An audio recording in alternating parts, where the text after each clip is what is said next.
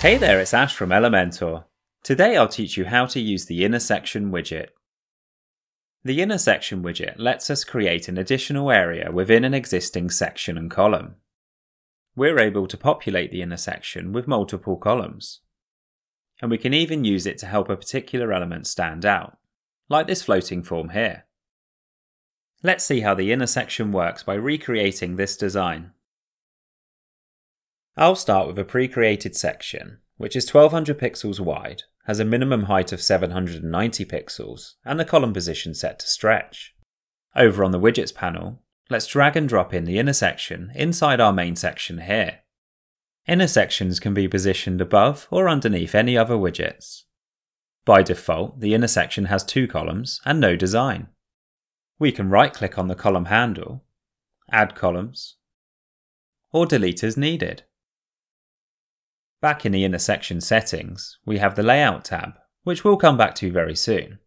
And we also have the Style tab. The Style tab, as you may guess, lets you style the inner section. We can set a background, which we'll set to classic white by dragging the picker all the way to the top left corner. We also have border, shadow, shape dividers, and typography controls. Okay, let's add some content and then we'll come back to the configuration shortly.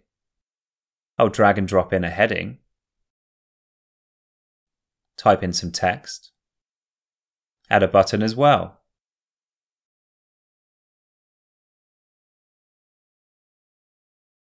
And an image over here.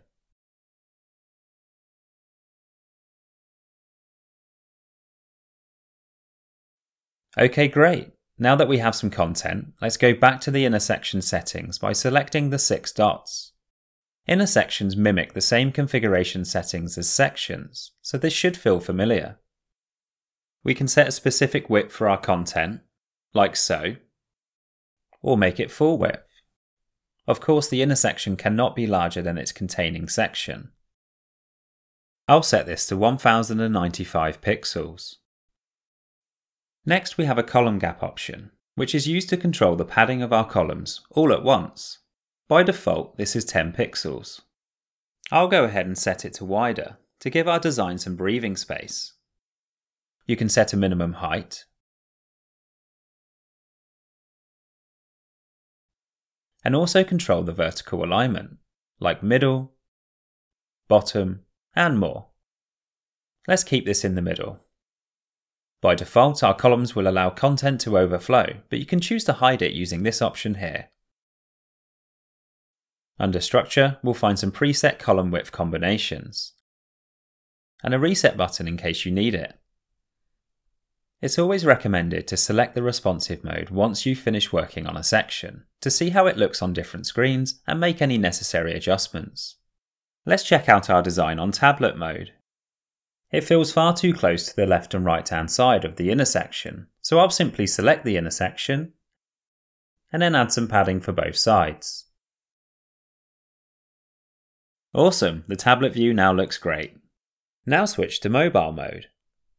Note the values that we have just set. These have automatically cascaded from tablet. It can be reset or set differently. Besides that, I think it would look much better if the top part was positioned underneath the image. But how do we achieve this without having to add custom code? Well, it's easy. In the Advanced tab, you'll find responsive controls. Simply activate reverse columns on mobile, and there you have it. We've shown one example of using the inner section widget, but with some creativity, there is no limit to what you can achieve. Thank you for watching. Be sure to share your websites with us in the comments below, and don't forget to like and subscribe to our channel for more tutorials.